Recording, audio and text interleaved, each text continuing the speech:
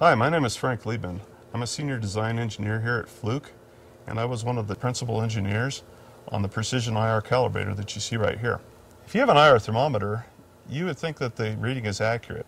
What if you have two IR thermometers and they have different readings? What is the solution?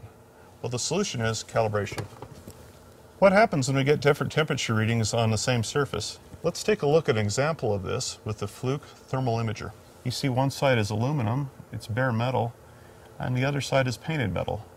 The painted metal actually has higher emissivity. This is why the aluminum looks colder, even though it isn't. In fact, a painted surface can vary by up to 2% in emissivity. Well, at 500 degrees C, this means that you can have a 7 degrees C temperature difference on your IR thermometer.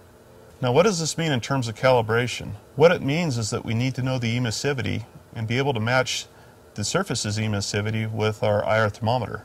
This is kind of hard to do though, because surfaces generally don't have a fixed emissivity. The solution is to do a radiometric calibration on your surface. This is what we do with the Fluke Precision infrared calibrator.